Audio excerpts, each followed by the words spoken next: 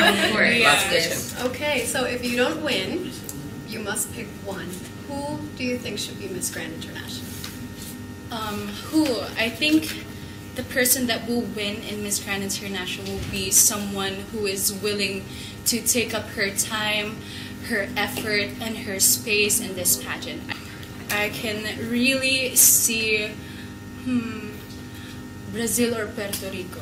Mm. Only Because- one. Okay, only Brazil. One, Brazil. Okay. Because Okay. the first day I saw Miss Brazil, she is very down to earth, really, really kind. Mm-hmm. And when she knew that I have like a flu, she messaged me right away telling me how, how am I, uh-huh. kind of Roberta Angela Santos Tamondong, Miss Grand